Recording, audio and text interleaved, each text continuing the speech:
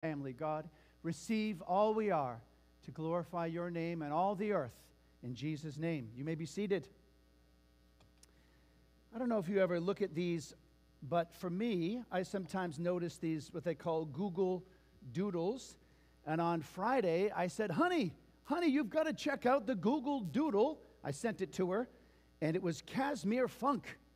Casimir Funk was a Polish American biochemist and he was the first to discover the concept of vitamins and essential nutrients.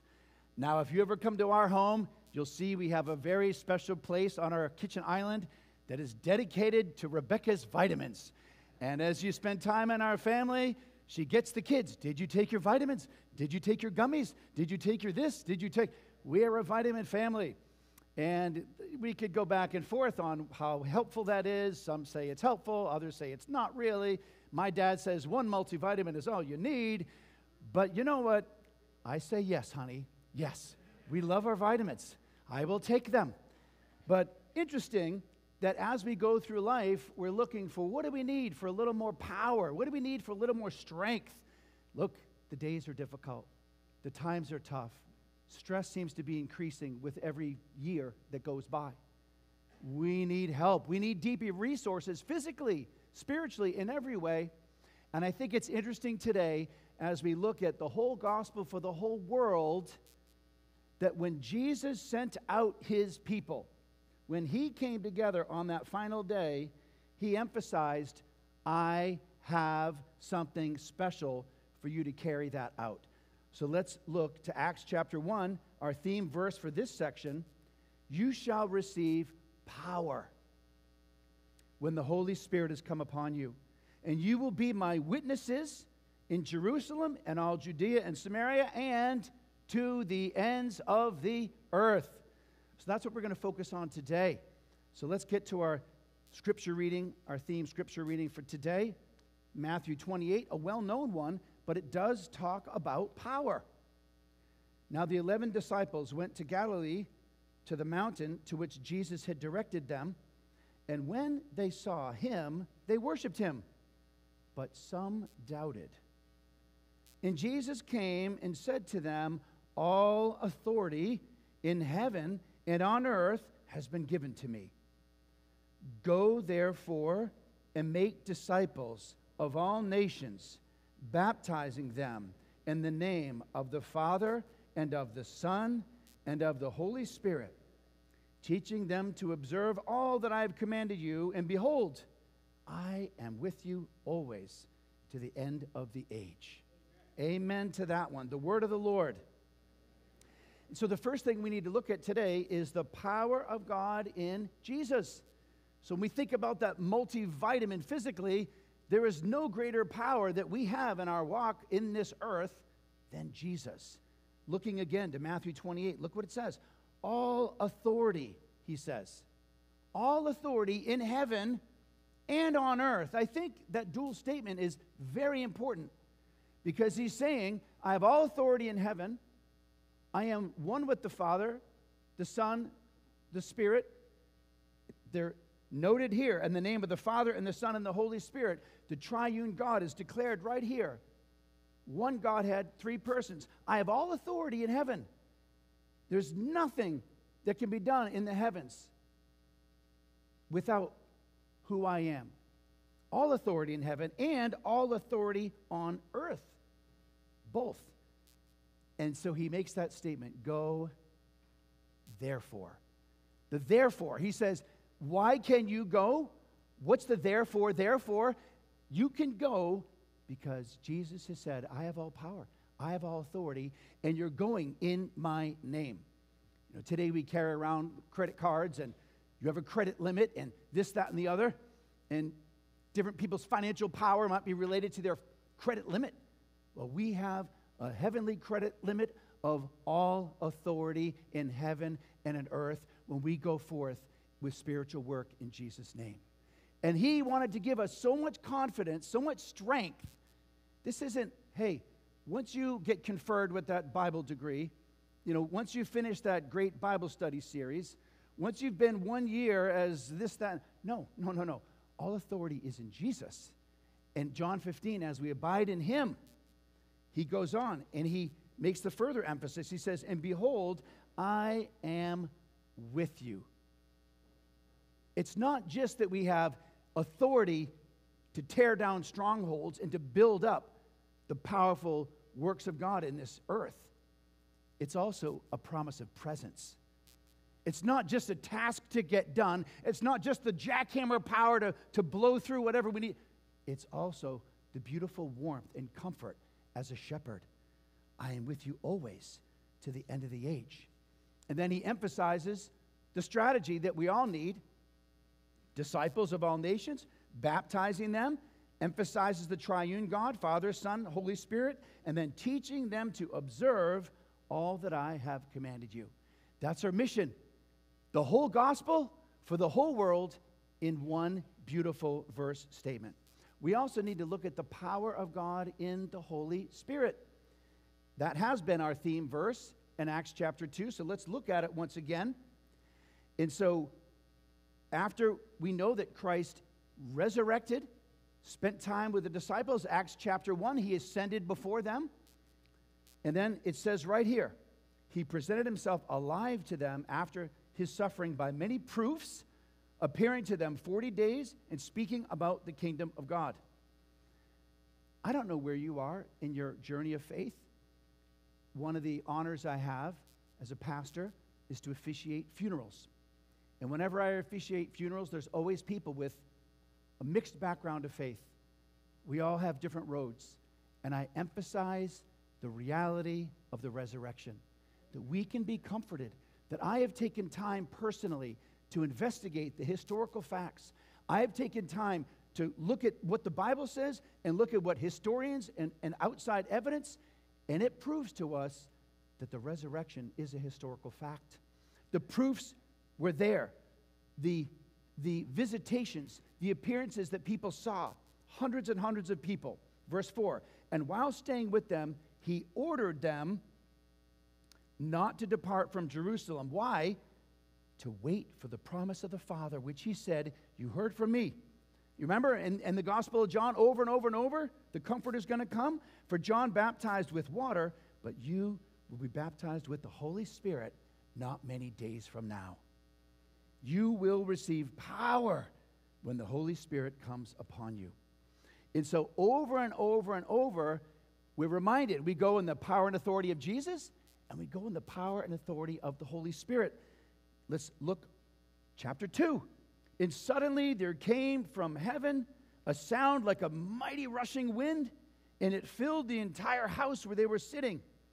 In divided tongues as of fire appeared to them and rested on each one of them, and they were all filled with the Holy Spirit.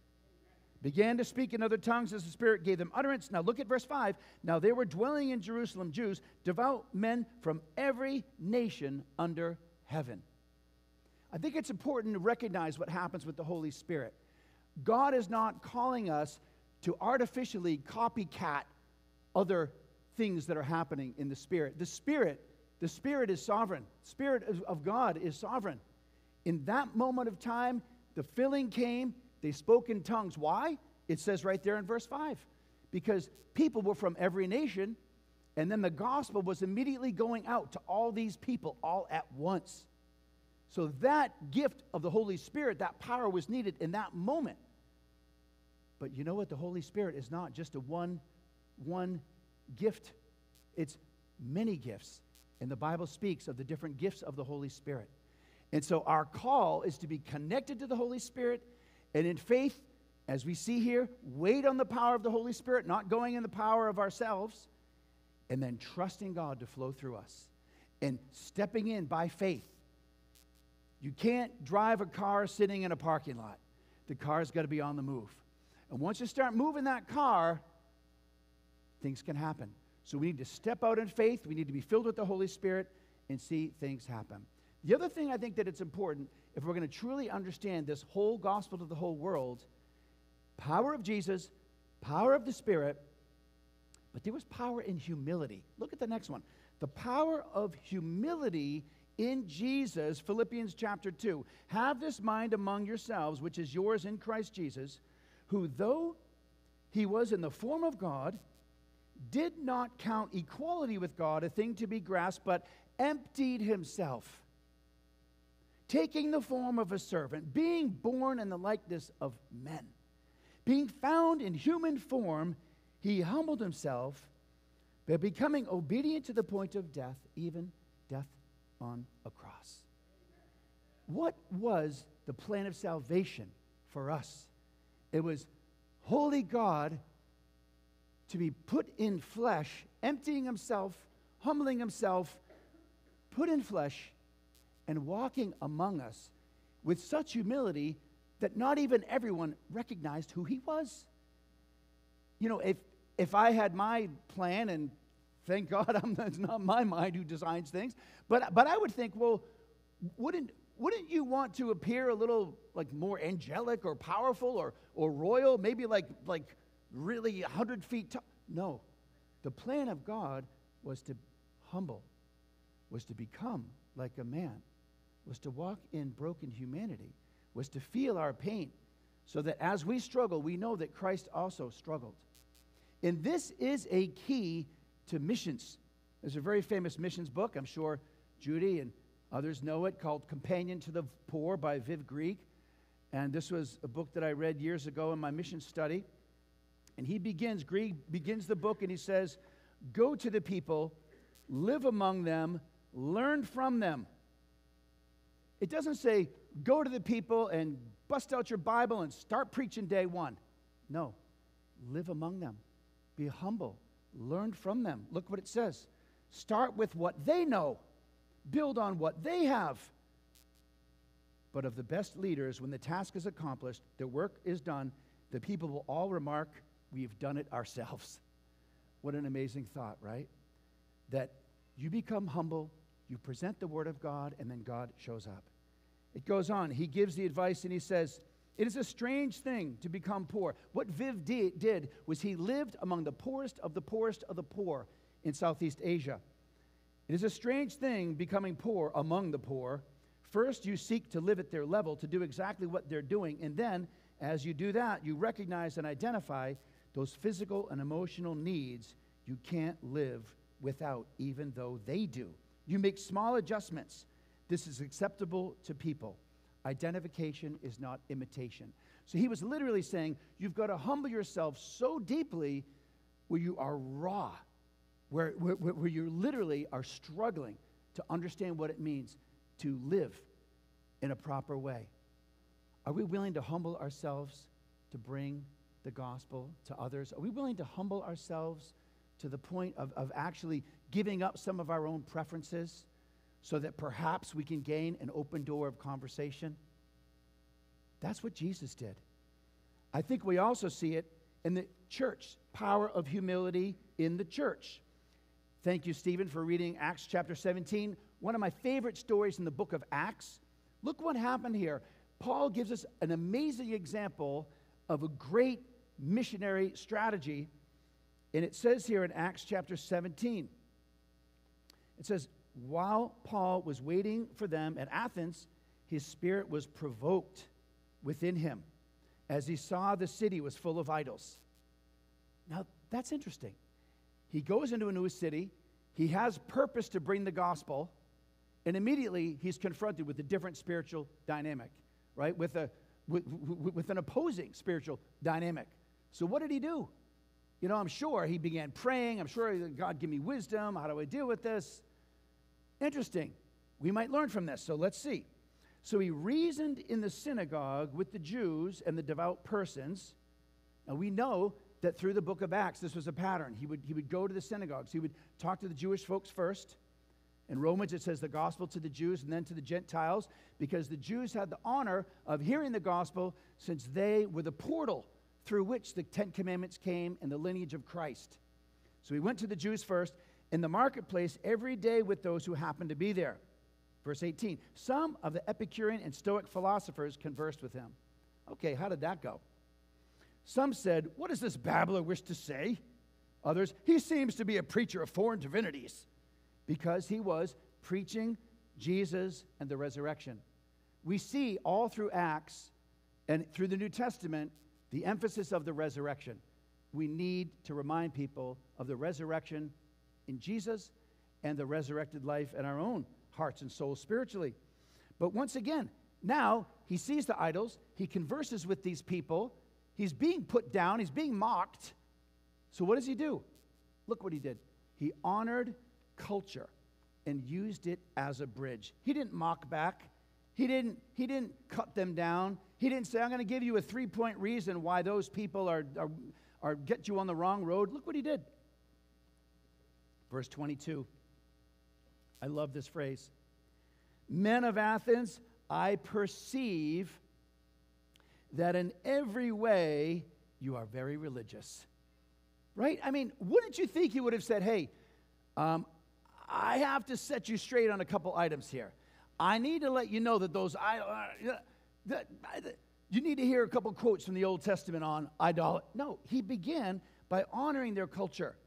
I perceive that in every way you're religious. They were, they were grappling, they were wrestling with spirituality. What does it mean? For I passed along and observed the objects of your worship. Once again, he could have just mocked those. I found an altar with this inscription to the unknown God. Look what he did. He used that as a springboard. What therefore you worship as unknown, this I proclaim to you. He took the very reality of their wrestling, of their images, of their philosophy, and instead of just tearing it down, he used it as a springboard. Hey, this is an opportunity for us to build a bridge here. One of the gifts I had living overseas in the country of Jordan for a couple of years was I found out that on the one hand, when you engage our Muslim friends, they like to debate. Just like here, there's a lot of spiritual talk. They, they, they have their spiritual debates and discussions. But if you spend time with your Muslim friends, you'll find that they will quickly drift into a debate of Jesus as the Son of God and the Trinity and how that just can't be true. However, as you get to know our Muslim friends, there's so many parallels to springboard conversation. Jesus, they believe, was virgin born. Jesus, they believe, did miracles. Jesus, they believe, was filled with the Spirit. And Jesus, they believe, is coming back, and he's going to be the one that they stand before on the final judgment day.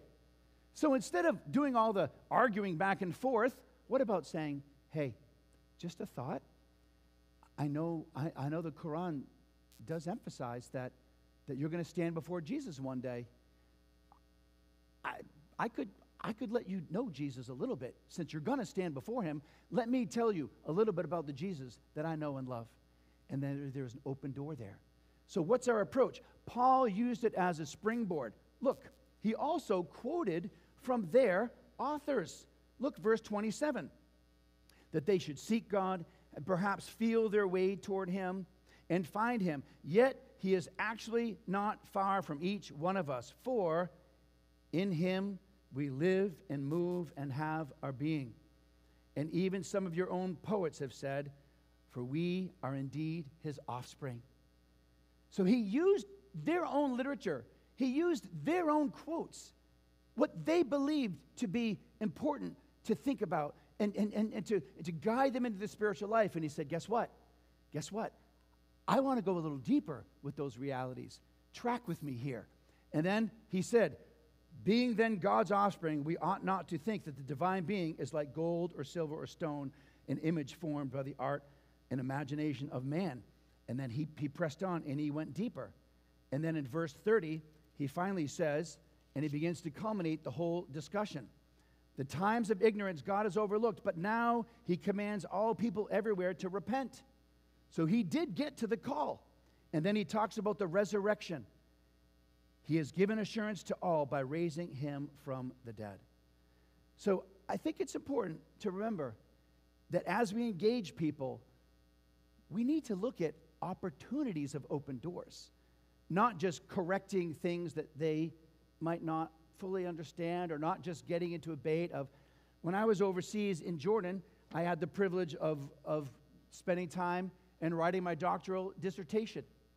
And when I was there, I took what they call the Decalogue, the Ten Commandments. And you might know that the Ten Commandments is Holy Scripture for Christians and our Jewish friends, of course, and our Muslim friends.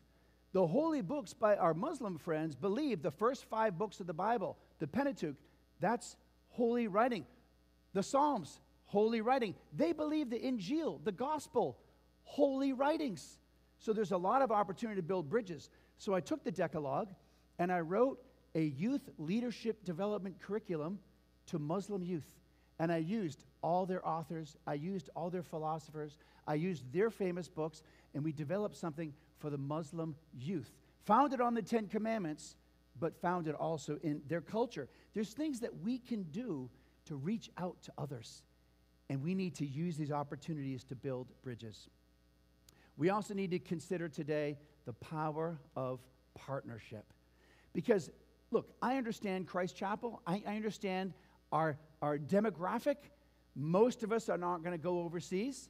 Most of us are not in that stage of life. But let me tell you that on my very first mission trip in 1985 to Peru, I went with Teen Missions, and I still have a beloved place in my heart for Bob and Betty Lane. They were the leaders of our trip, and we went to the deepest jungle in Peru where almost no had ever been, no Westerner had ever been. A couple of Swiss missionaries got there just a few months before we arrived, and we went there to build an airstrip. And Bob and Betty Lane, Bob had just retired from being a lifetime fireman. And he decided, I want to do more. I'm retired, I'm going to refire. I'm not just going to retire, I'm going to refire. And Bob and Betty gave their lives all over the world, and God gave them a beautiful season of missions. So we never know what God's going to call us to do. But that being said, I do understand that for most of us, our call is going to be here as partners. And that's, that's a powerful, the power of partnership cannot be underestimated. Let's look at Philippians 1. What does it say there? It says, I'm sure of this, that he who began a good work in you will bring it to completion at the day of Jesus Christ. Amen to that? That was our college theme verse. When I attended Cedarville years ago, I declare it in each of our lives now in Christ Chapel that, oh God, what you began, the good work, you'll bring it to completion at the day of Jesus Christ. He goes on. He goes, You are all partakers with me of grace, both in my imprisonment and in the defense and confirmation of the gospel. You're right there with me. I'm in prison, but you're with me. I need you by my side. Now, it's interesting in that culture, many times when they were in prison, the people would need to actually bring food from the outside. And they would need to nurture them from the outside. So this was more than, than, than just a spiritual statement. This very well could have been a, a cry for, for partnership to care for him. We need our missionaries to know that we are by their side. Colossians chapter 4, look what it says. Pray also for us I mean, this is the Apostle Paul, right? He's the prayer guy, he's the prayer warrior. No, no. Please, he says, pray for us that God may open a door for the world to declare the mystery of Christ, on account of which I am in prison, that I may make it clear, which is how I ought to speak. I mean, we think of Paul like, what? You need to pray for me. No. I need your partnership. I need that open door. I need clarity when I preach. I can't just give an Acts 17 sermon perfectly every single day. I need your prayers to preach with clarity all the time. How are we doing praying for our missionaries to have open doors, praying for power for our missionaries? It goes on in Philemon chapter 1. Philemon, I thank my God always when I remember you in my prayers. The Apostle Paul was, was writing this to, to a leader, a wealthy man, and he was trying to uh, reconcile a situation with the servant. And so Paul was saying, I thank my God when I remember about you, Philemon, in my prayers, because I hear of your love and the faith you have toward the Lord Jesus and for all the saints. This is a generous man. And I pray that the sharing of your faith may become effective. So Paul asked for prayers, but then he also said, Hey, Yes. He says, I pray that the sharing of your. Paul was also praying for his partners. I know our dear servant, Judy, we pray for her. It's an honor. Thank you for your prayers, Judy. We need them. I need them. Christ Chapel needs them. And our missionaries pray for us also. I know that many of us have deep relationships, have significant relationships with our missionaries. We pray for them, but they pray for us. It's a two way street. Second Thessalonians. Finally, brothers, pray for us, it says, that the word of the Lord may speed ahead. I love that. And be honored as has happened among you, and that we may be delivered from wicked and evil men. For not all have faith, but the Lord is faithful. He will establish you and guard you against the evil one. So, once again, I need your partnership so the Word of God can go. We need to pray for our missionaries. We have a beautiful, beautiful partnership with Guy and Satili. Uh, Guy, Guy, she was here, Guy and Sandra Satili. And we know the amazing outreach that they're going to have in 2024 and beyond. They're depending on our prayers. Every one of our missionaries we love the Curly's work in Poland, and we could name every single one. They're depending on us that the word of the Lord will speed ahead. They're putting their lives on the front line, as we heard last week from Kim, putting her, line on, her life on the front line because she wants fruit. She wants to see the word of the Lord go forth. That's going to happen by our prayer. So I'm going to ask you, church, let's just do a little tip. Let's do a little quiz. How are we doing in partnering with our missionaries. For our missions conference in the fall, we developed these amazing prayer books. I've never come to any missionary conference with better information about our missionaries. We love Dave and Terry, and we did a great job. They did a great job in putting this, as they do every year. And we go through this book, and it lists our missionaries one by one, gives their mailing address, prayer requests, email. You can write them today. Where's your, I mean, tell me right now, where's your book? Is it next to your Bible on your, on your devotional stand? Is it, is, it, is it on your fridge so you can remember? Is it buried under a pile of papers? I have to be honest, I lost mine. But I'm committing to you today that I'm going to put mine on my devotional table. And I ask every single one of you, where is your prayer book? Get it out, make it part of your devotions whether it's once a week, whether it's once a day, something, church. If we're really going to believe that the power happens in partnership, if we're, we're really going to believe, okay, God, I can't go all over the world, but I want to be counted to the ends of the earth. Okay, we can do it in prayer. I mean, those partnership verses were more than anything about prayer. Are you going to? Let's all commit to that. I'd be happy to print another hundred of these, no problem. Selena, can you raise your hand?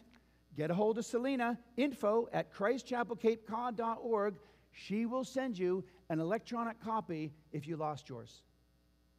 I need, we need to do this. What about your time? When is your prayer time? I find in my devotional life, if I don't set a time, it doesn't happen. It's like, oh, I'll do devotions today. Well, if I don't say the first thing in my day, as soon as I wake up, shot of espresso, sit down for devotions. It just doesn't happen. So I have set a time for my devotions. I am now going to add a time for my missionary prayer. I'm going to do my shot, I'm going to do my devotions, and I'm going to get on my knees and pray for our missionary every day. You know, I had a wonderful year of devotions the last couple of years because I've been more intentional. I've been walking with the Lord for 40 years, but I've been more intentional about my devotions because I set that time. Church, wouldn't it be cool if we all really commit to this? And then our next missionary conference, they're like, you wouldn't believe it? Like around the time of March, the power of God began to multiply. The fruit came in waves that we never had before. Be like, wow, like God, you're doing something. Who do you pray with? We know that there's multiplied prayer power when we come together. I know it's Steve Duncan's. I know it's Ray Bell's heart that you'll join them at their 6 a.m. prayer Zoom that they have Monday, Tuesday, Wednesday, Thursday, Friday, Saturday. Pick a day, every day, 6 a.m., 7 a.m., get the link. I'm sure they'll commit to pray for the missionaries. I'm sure if you come in and you say, hey, can we pray a minute for these missionaries? They'll do it. I love our Wednesday prayer time at 1 p.m. We have a listing of groups in the back, all the different Bible studies. Bible study leaders, can, can, can you please commit to pray for our missionaries, one missionary every single gathering. Can we integrate that into our Bible study list? So we've got our prayer book, we've got our time, we're praying together. And then finally, what about relationship? Who do you know personally? When was the last time you wrote an email, you received an email from a missionary? We have all the information right here. It's crazy. Like this world that we live in, unlimited knowledge, unlimited opportunity for connection. And yet, the challenge today is to take advantage of all that we have at our fingertips. I'm encouraging our church from now to the end of the month, we have a couple, we have, we, have a couple more days to do it, that we would write a missionary and say, I'm going to pray. I'm going to pray like I haven't. I want to be connected like I haven't. I've got your requests from the fall, but, but, but what's something new? And then share something about your life so that they can feel connected to you as well. Amen? Lord, we lift up our missionaries and we want to be good partners. Let that happen in Jesus' name. The last thing that I want to mention in terms of the gospel to the ends of the earth, we need to focus on the power of praise. We need to focus on the good stuff, on results, on celebration. Thank you, Lord, for your harvest. That's important, right? Well, look at the next slide as we see here. Thessalonians, what is our hope or joy or crown of boasting before our Lord Jesus at his coming? Is it not you, he says? Look at the new living. After all, what gives us hope and joy? Let me ask you, church, what, what gives you hope and joy? Pastor, what gives you hope and joy? What will be our proud reward and crown as we stand before our Lord Jesus when he returns? That's the whole gospel for the whole world. This is the last message that we're leaving with right now. The whole gospel for the whole world. Why are we doing it? What's the point? Right there. It is you. Changed lives, multiplied lives, disciples engaged in life changing activities. Yes, you are our pride and joy. And one couple I take pride and joy with today is Stephen and Delene. If you could come up. Stephen and Delene Russell are such a gift to Cape Cod. They've given their lives in ministry. They are from South Africa, and I hope you all get to have coffee and a time. I spent about three hours, two and a half, three hours at their house, and other fellowship times and worship times. And they were with one of the most beautiful evangelistic associations in South Africa. And they were going off to disciple those who came to faith and what was beautiful about Stephen and Delene is they said, Our heart is to make sure those people don't just attend an evangelistic event, but they get plugged into churches.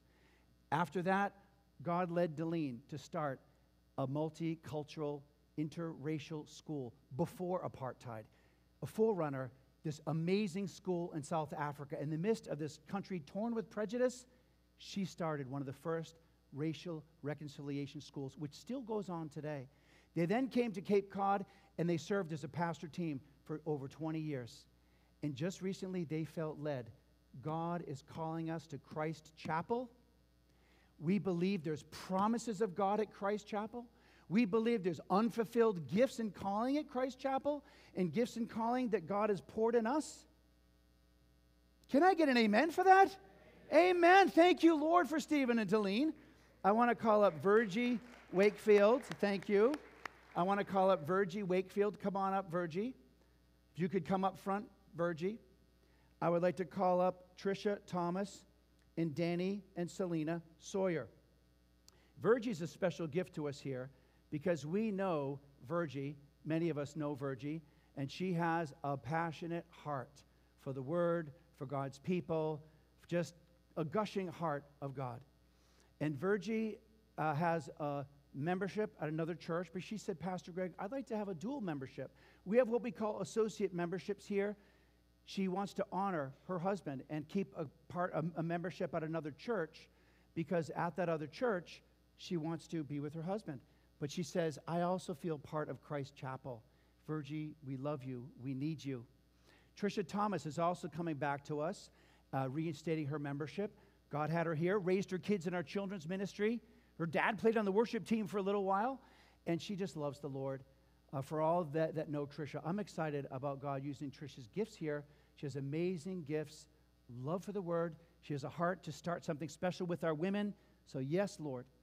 We also have Danny Sawyer, who's restarting, who's also reactivating his membership here with his wife Selena, who joins as who want, would like to join as a new member today.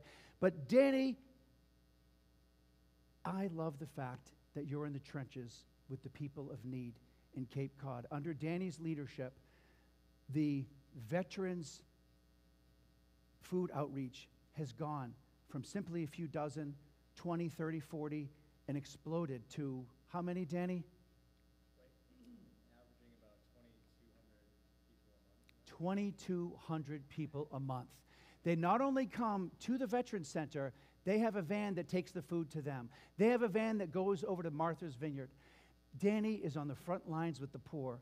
And Danny's my guy because you know what? Nobody would know. He's not looking for credit. And you know who Danny's brought to church? Our beloved Tom. Tom, I want to thank you for what you do at the soup kitchen, too. Tom is a beautiful man of God, and thank you for what you do to serve the poor. Selena also is here today because she has been serving as, as the assistant in the office, and she has really, all that have worked with her, they all come and they say to me, I don't ask, they say to me, man, she's so easy to work with. She gets stuff done. But Selena just really took the membership class like to heart. I sent it out to everybody, and she was like memorizing it. She made sure that she memorized that one statement about in essentials, unity, in non essentials, liberty, in everything else, charity. And so she really took to heart hey, this is important. I want to thank God for Barbara Fitzgerald. Barbara, can you come up? Barbara Fitzgerald is a beautiful woman of God, and she, she uh, read for us last week. But Barbara was baptized right here, actually. I didn't know that, but she shared her story that she was baptized right here when she was with Grace Harbor Church.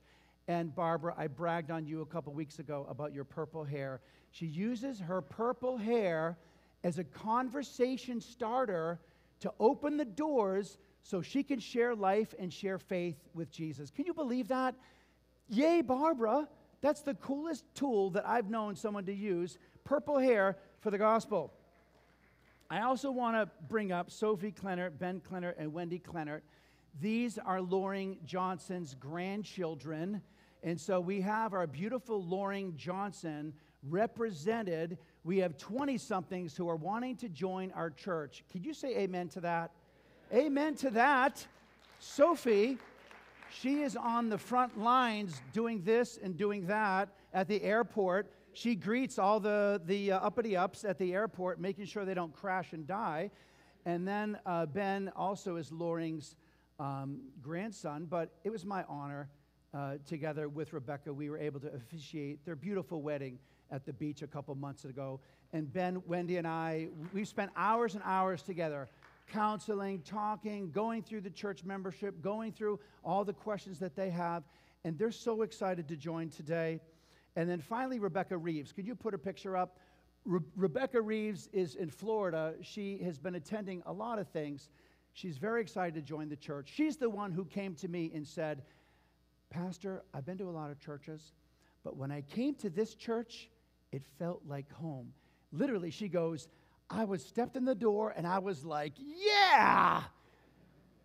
She told me about her baptism. She was baptized by the son of C. Everett Koop, which is so cool, right? She was baptized by Dr. David Koop, and her in laws, Charles and Carol, can you wave to us? Her in laws are part, they, they love coming to our church. And we have up front Rebecca and her husband, Greg. We have two Rebecca and Gregs in the church. And so they had to be in Florida right now for a family commitment, but she's very, very excited. We also spent a lot of time in terms of the membership, in terms of the classes, baptism, statement of faith signed off on all those different things. And so at this time, I want to also thank God for Dr. Seppo. Dr. Seppo, if you could come forward, I want to thank God for Dr. Seppo. He's our moderator, but he also has served a life of helping others physically, helping this church in terms of its formation, but also spiritually. In Seppo, I've spent extra time with Seppo over the last few weeks, and in that, uh, actually, we got to talk more about shop. I was like, Seppo, I want to hear about your operations about your doctor stuff. And uh, I know most of you know these things. I'm kind of new to his amazing life. But uh, Seppo is our moderator, and so I'll pass it over to you in terms of tran- transitioning to a proper meeting and prayer. Well, we have to bring members in at a duly constituted meeting of the congregation. We've had people waiting now for six months or more to come in because we haven't had a duly constituted meeting. But today, this meeting is now official, and so we can use this meeting to bring new members into the church. It's interesting to see that God created churches. Uh, and that's how he deals with his own, own people. That's how people come in. Paul went around meeting men from town to town, creating churches. And every church is independent and very special in its own sight. Some are great cathedrals, others are little village churches like ours, but it's here that God sends his people out and brings them in.